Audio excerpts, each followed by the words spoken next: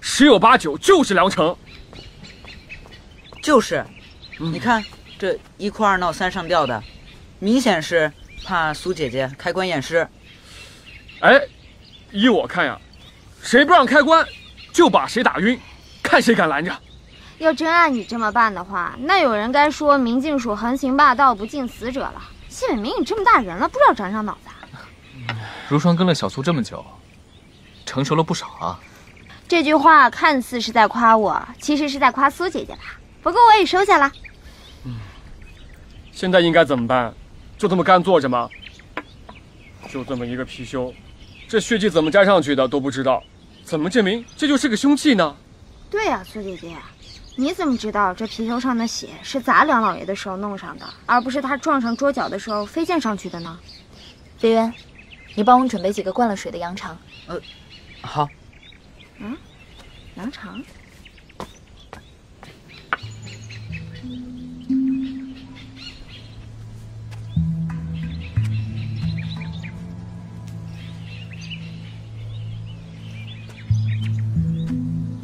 现在呢？我把这个放在桌角上，裴兄，你帮我按一下。哦。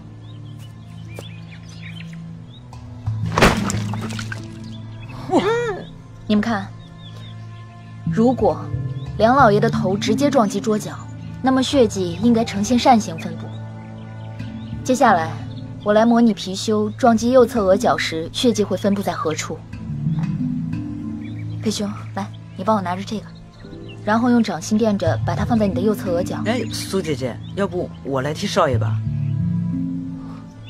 如霜，咱俩快往后。好，现在你站在桌边。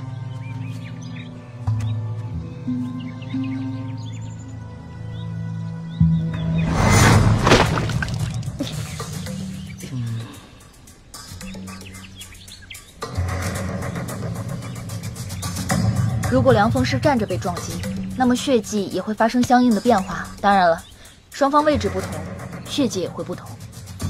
比如是以这种方式撞击的话，那我使用的力气没有刚才那么大，血迹也会相应的不同。裴兄，你低一点。如果我是从后面撞击的话，角度也会不同。只是这梁老爷的房间血迹的分布。完全不是刚才所说的第一种情况，而且貔貅的摆放位置也在血迹产生的范围之外。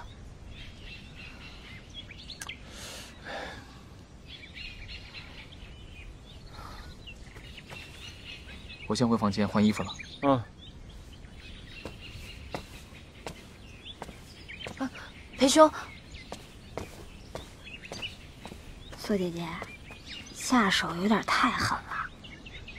就是啊，少爷肯定生气了嘛。苏兄，他好歹是个王爷，被你弄得这么狼狈，是不是有点？快去哄哄吧，快去。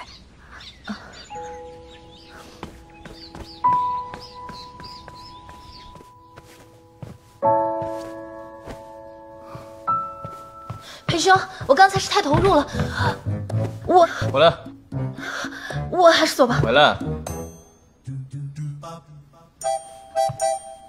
转过来。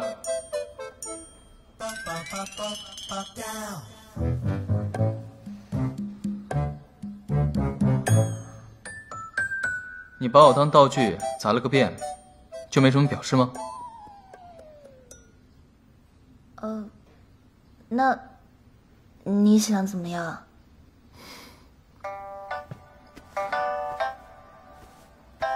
帮我擦身。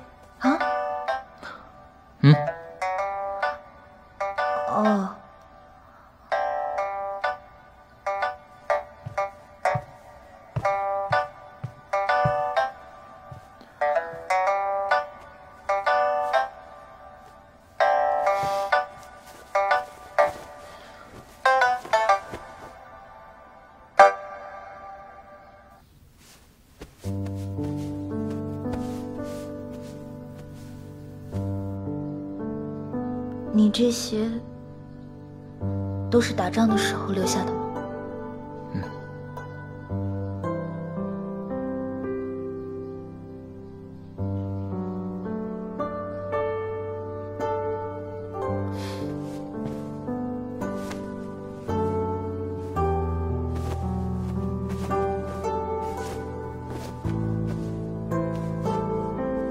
嗯。嗯。你这是？雾气还没消呢，帮我穿衣。哦。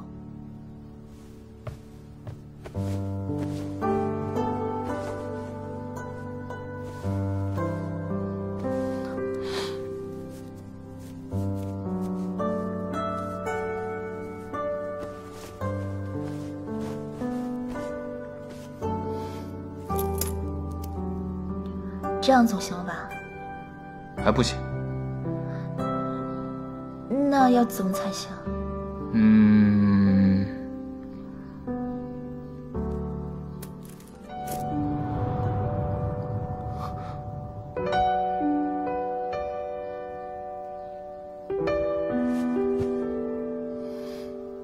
这样应该行了吧？